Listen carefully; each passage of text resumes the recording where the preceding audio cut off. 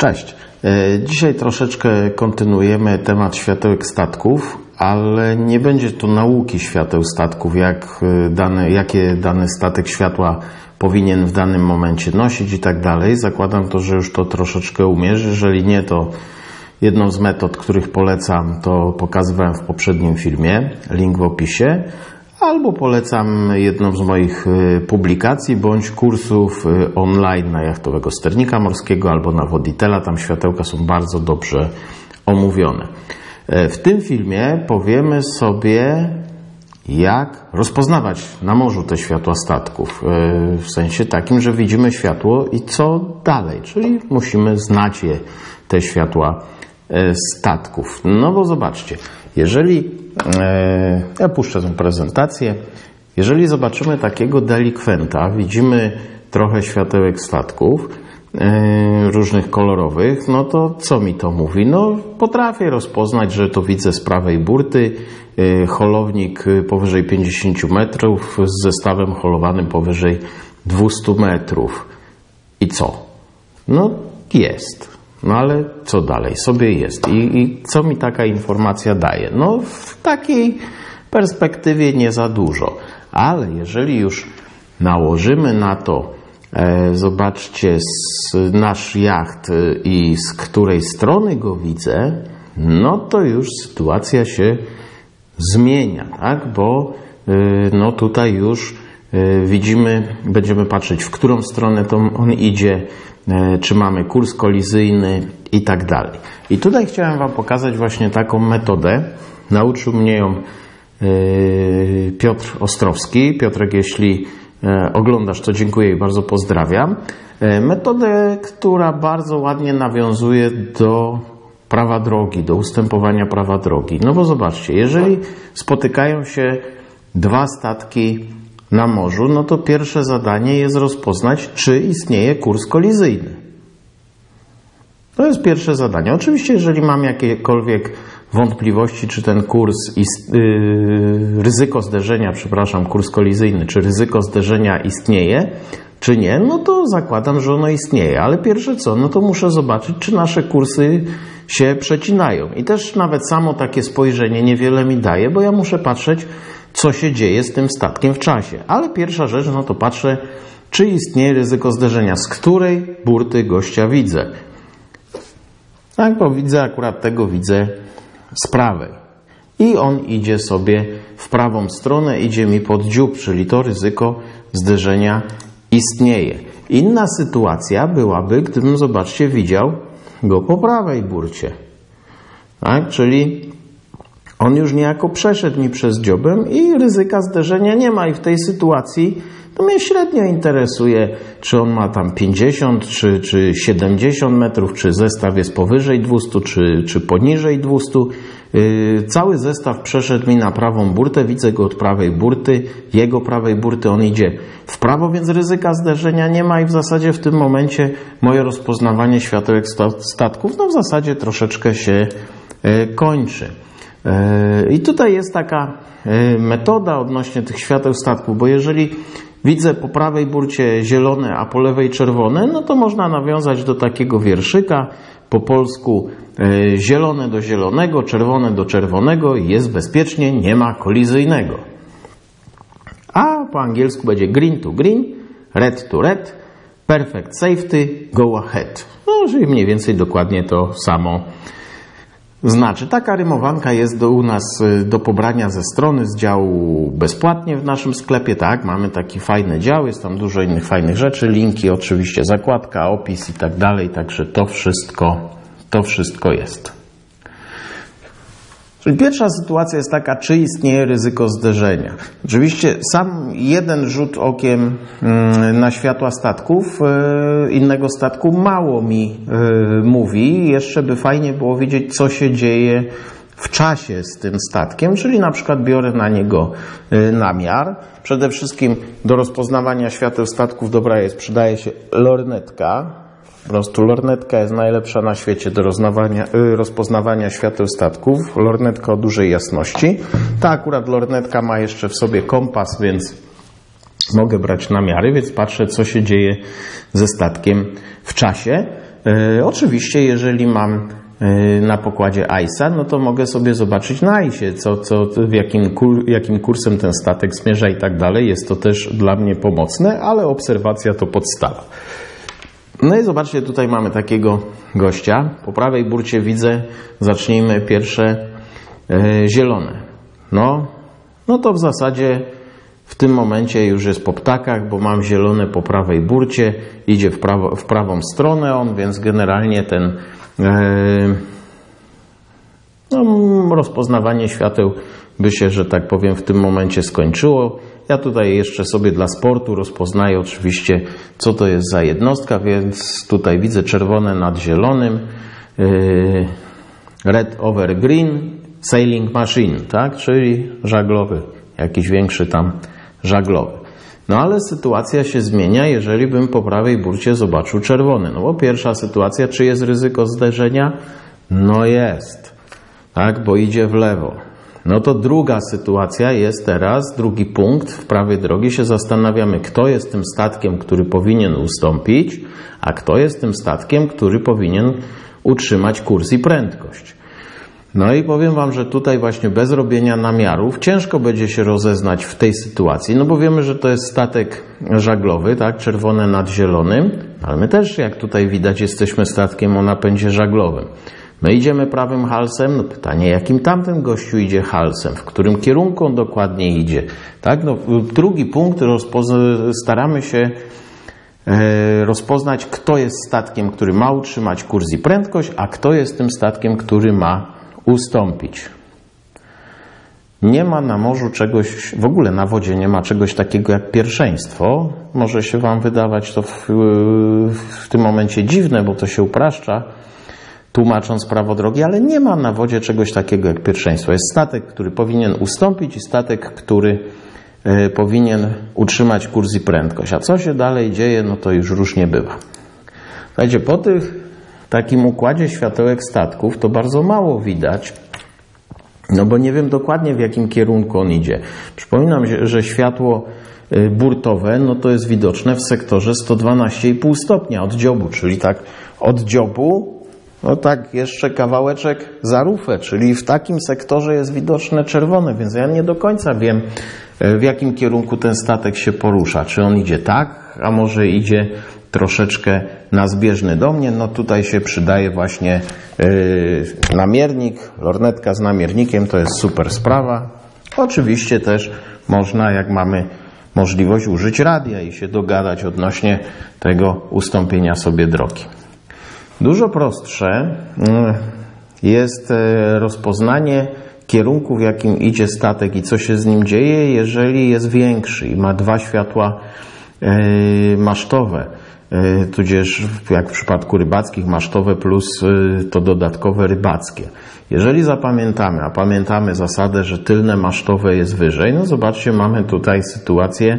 Pierwsze pytanie, czy jest ryzyko zderzenia? No jest, bo idzie, że tak powiem, nam pod dziób, tak?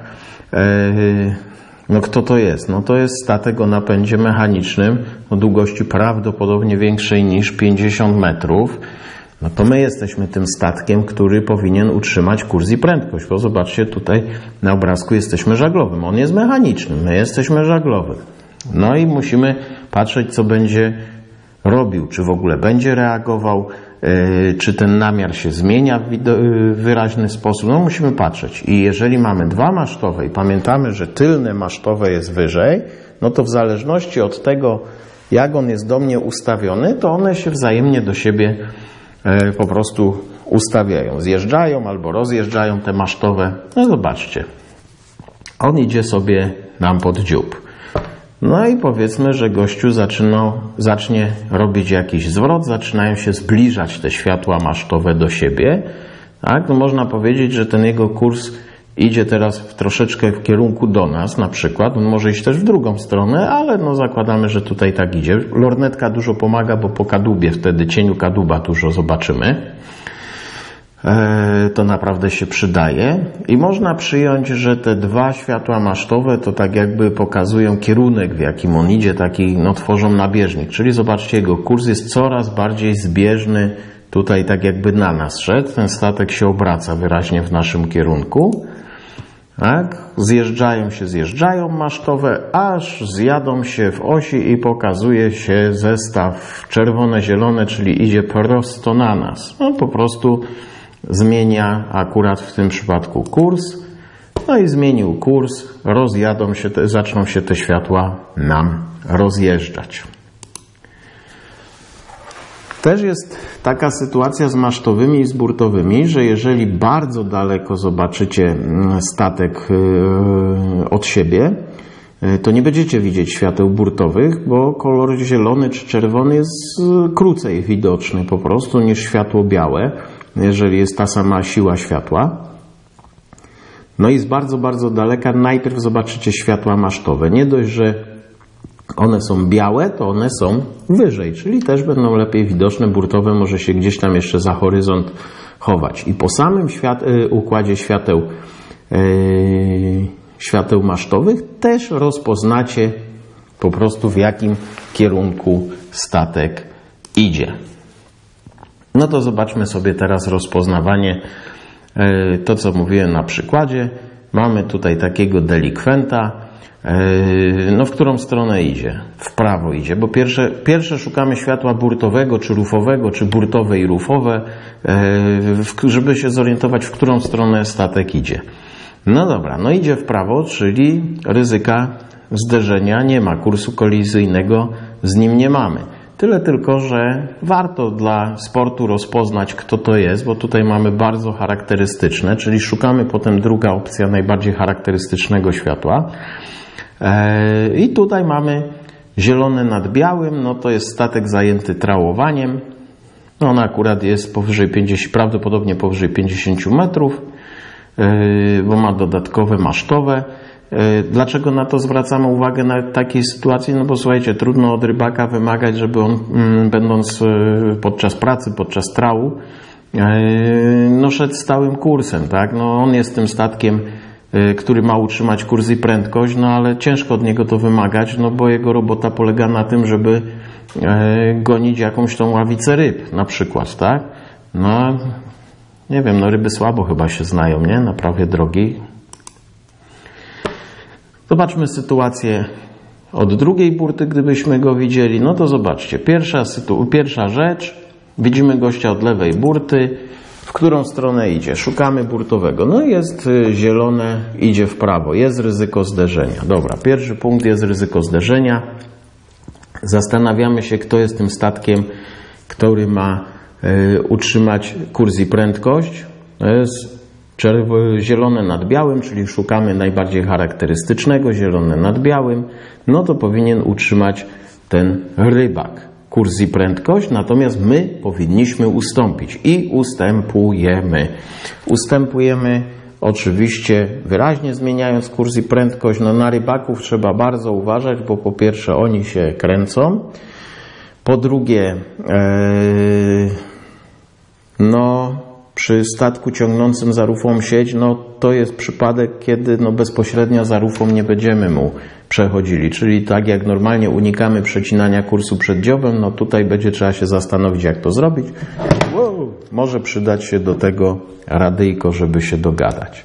No i szukamy jakiejś charakterystycznej e, rzeczy. No tutaj mamy charakterystyczną światło, to jest to białe, masztowe dodatkowe, czyli to jest duży trałujący, tak? czyli ta sieć też może być całkiem y, spora. No ale idzie nam w prawą stronę. No dobra, to teraz tak. Y, światło, które podczas nauki budzi dużo kontrowersji, bo nie wiadomo co to jest. Światło jedno-białe. Bo to może być mały statek na kotwicy, to może być jakiś y, mały stateczek, to może być żaglówka odrufy, mechaniczne odrufy, prawda? Jedno białe światło. Ale zobaczcie z punktu widzenia prawa drogi. Jeżeli widzę jedno białe światło i ja się do niego zbliżam, to znaczy, że bez względu na to, co to jest, ja to muszę ominąć. No bo jeżeli to będzie statek na kotwicy, no to on nie podniesie, nie podniesie kotwicy, żeby mi zejść z tej kotwicy. Jeżeli to będzie żaglówka bądź statek o napędzie mechanicznym od rufy, ja się do tego zbliżam, no to zachodzi prawidło wyprzedzania. Statek wyprzedzany jest tym kursem, który, tym statkiem, który ma utrzymać kurs i prędkość. To wyprzedzający ma y, zrobić to wyprzedzanie tak, żeby było bezpiecznie.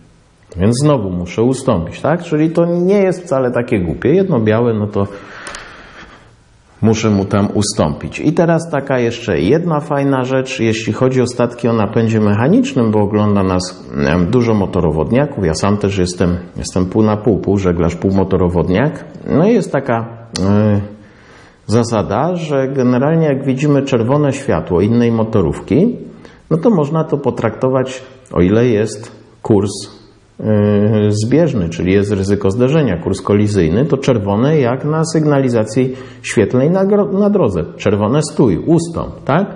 I taka rymowanka.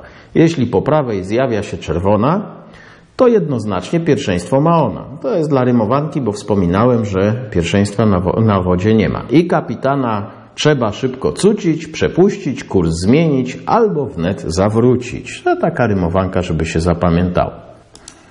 Natomiast jeżeli zobaczymy z innej motorówki, będąc na statku napędzie mechanicznym zielony, no to tak jak na sygnalizacji świetlnej na drodze, zielone jedź. I rymowanka, a jeśli z lewej zieleń obaczę i mechaniczny tam płynie statek, to płynę dalej i tylko patrzę, czym niebezpiecznie minie gagatek. Tak? No bo w tym momencie my jesteśmy tym statkiem, który ma zachować kurs i prędkość, a on ma ustąpić. Natomiast to, czy on ustąpi, czy nie, to jest inna historia i tutaj musielibyśmy sobie troszeczkę też o samym prawie drogi poopowiadać. E, jest ono dobrze omówione w moich e-learningach i w moich podręcznikach. Może kiedyś zrobię o tym film, tak?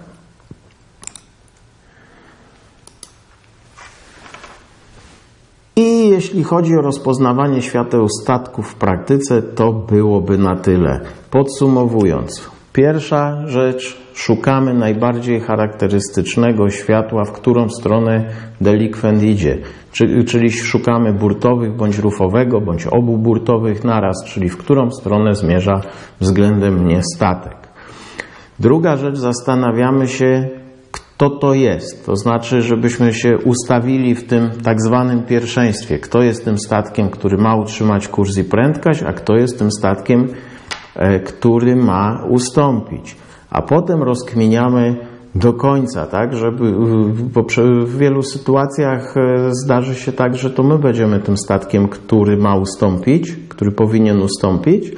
E, no i musimy rozkminić, patrząc po tych światłach statków, czy to jest na przykład ograniczona zdolność manewrowa, a może to jest odpukać nieodpowiadający za swoje y, ruchy, a to rybak, a gdzie on ma tą sieć, a może jego sieci zaczepiło przeszkodę i tak dalej, czyli dopiero potem e, szukamy szczegółów, tak? Idziemy kierunek, ogół, kto to jest, a potem szczegóły. Jak tak podejdziecie do świateł statków, to się okaże, że naprawdę bardzo to jest, wszystko się układa w logiczną całość. Fajnie to wszystko działa e, i będzie łatwo Wam to po pierwsze powtórzyć światła statków, zapamiętać je na dobre, a przede wszystkim stosować w praktyce. Na dzisiaj to wszystko. Jeśli materiał się podobał, to oczywiście zapraszam łapka w górę, subskrypcja takie tam. Zapraszam do odwiedzenia naszej strony. Może yy, masz ochotę wybrać się na jakieś szkolenie z nami, a nawet jak nie, to oglądaj nasze filmy, podziel się w komentarzu y, swoimi doświadczeniami z morza i co? Do zobaczenia na wodzie. Cześć!